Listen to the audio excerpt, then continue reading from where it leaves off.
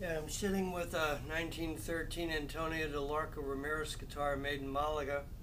Got new strings on it. I'm gonna try a different type of video.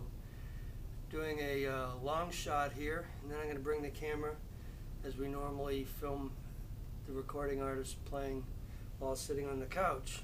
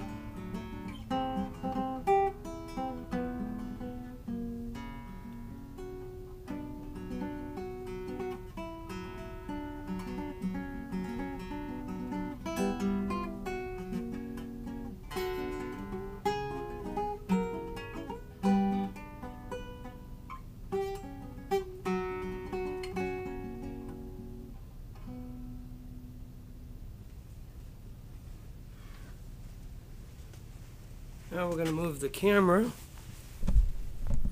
and listen to it recorded close up. The idea is to see what kind of a power is produced by the tornavoz in this particular instrument.